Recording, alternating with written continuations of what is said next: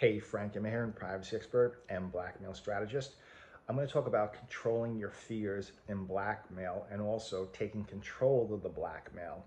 Now, I'm sure you're thinking, God, you know, I'm freaking out here, man. This this blackmail is going to destroy my life. They have my wife's Facebook page or my cousin's Instagram account or my boss's LinkedIn, whatever it may be.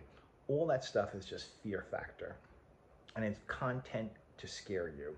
So the number one thing to think about is that this is transactional. It's not about hurting you or destroying you. It's about turning you into a human ATM machine. That's it, nothing more. I mean, there are blackmailers who do expose, and you know, sometimes it's about revenge, sometimes it's about you know getting more compromising content, and it's from you know a degenerate out there, or something like that. But for the most part, most blackmail is about money. And so you have to get out of that victim mode in your head and start thinking like a strategist. Okay. And the one thing you do have control over is the money. So you need to use that to your benefit. So you need to put the brakes on everything. Just stop making the conversation about the threats. And the conversation now is about I don't have any money, but I can pay you in 24 or 48 hours. That is how you control a blackmailer because they want the money. So you're what you're doing is, you know, it's like chess. Now you're chasing their king across the board. Okay, you want to get paid. I understand that. I understand you can hurt me. However, I have no money. In order for me to pay you, I need to borrow money. So you're changing the dialogue and you're you're not allowing them to control the situation.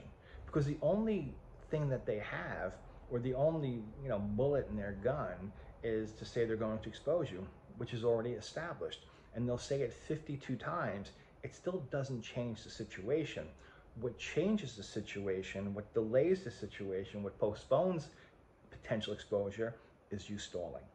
And that 24 hour stall gives you time to think, get your head together, grow some balls, and take action.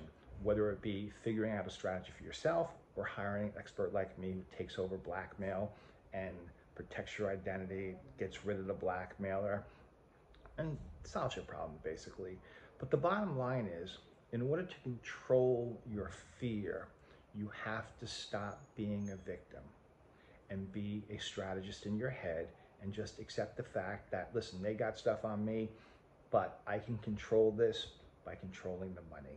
So if you have any questions about blackmail, reach out. I'm Frank M. Ahearn, and be safe.